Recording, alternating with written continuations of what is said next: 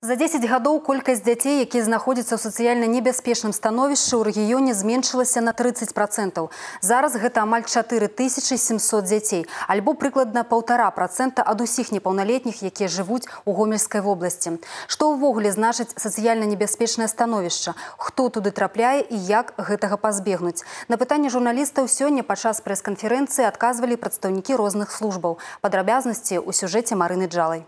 Наданне сям'і статусу сацыяльна небяспечных гэта не пакаранне, не прысуд, не знявага яе аўтарытэту. Гэта імкненне праявіць прадбачлівасць, захаваць псіхічнае і фізічнае здароўе дзяцей і іх жыцці. На прэс-канферэнцыю прыйшлі прадстаўнікі службаў, якія не па чутках і інфармацыю ў інтэрнэце ведаюць, што значыць своечасова не звярнуць увагу на праблемы сям'і. Што значыць недастаткова працаваць сем'ямі, у якіх дзеці не галоўная каштоўнасць і часам не каштоўнасць увогуле. Вынік гэтага потым адлюструюць ёсць у статыстыцы дзіцячай смяротнасці. За кожнай трагічнай лічбай пытанне, ці можна было не дапусціць смерці хлопчыка ці дзяўчынкі. І часцей за ўсё адказ адназначны. Можна. Таму і прагучала на сустрэчы з журналістамі фраза, што сістэма трапляня дзяцей у сацыяльна небяспечнае становішча напісаная крывёю. Десяткі прыкладаў агучылі спецыялісты. Безліч сітуацый, якія прывялі да гібелі дзяцей альбо зламалі іх псіхіку. Гэта сексуальны гвалт, псіхічнае ўздзеянне, жорсткія физичное покарание. Мы должны защитить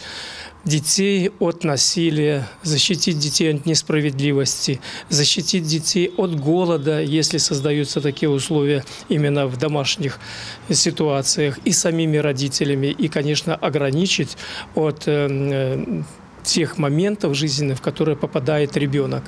Органы образования уделяют пристальное внимание этой теме.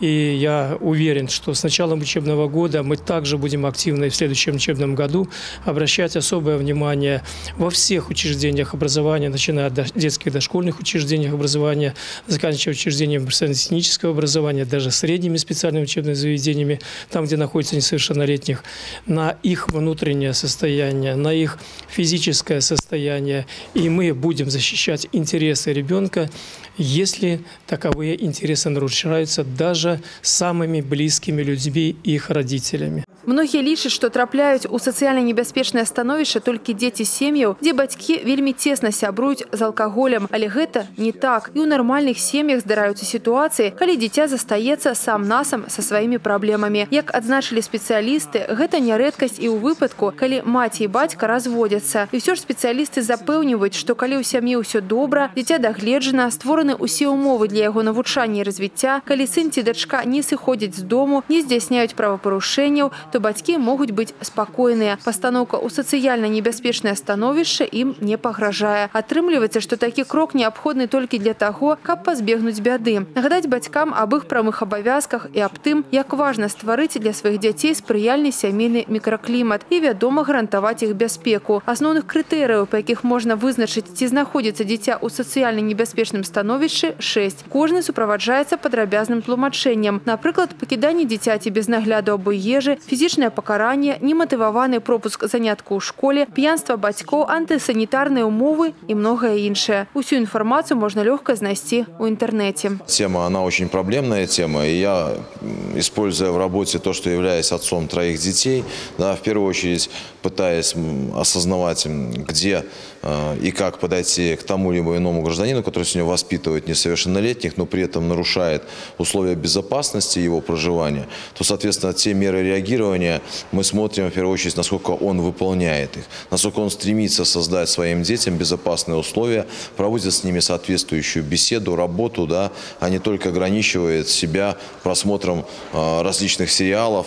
Сёння ў гомельскай вобласці ў сацыяльна небяспечным становішчы афіцыйна знаходзіцца прыкладна 4700 дзяцей. За 10 гадоў іх колькасць зменшылася больш чым на 30 процентаў. Летась амаль 600 бацькоў пралячылі ад алкагольнай залежнасці. Амаль 9 сотням знайшлі працу. Сістэма работы з неадобранадзейнымі сем'ямі, створаная ў рэгіёне, па леташніх выніках мае лепшыя паказчыкі ў краіне па прафілактыцы сацыяльнага сіродства. І напрыканцы, пастаноўка ў сацыяльна небяспечнае становішча часта дапамагае выйсці са складанай сітуацыі. У сем'і прыходзяць куратары, якія могуць дапамагчы, расказаць, што трэба рабіць, аказаць садзейнічанне ў вырашэнні праблем. Такі нагляд ажыццяўляецца на працягу паўгода. І толькі калі выніку няма, дзіця забіраюць у прытулак, не пазбаўляючы маці ці тату бацькоўскіх правоў. Ім даецца магчымасць выправіць справу, уладкавацца на працу, пралячыцца ад алкагольнай залежнасці, прывесці ў парадак дом. Галоўнае не страціць гэты шанс. Марына Джала, Ігор Марышченко, тэлерадыёкампанія Гомель.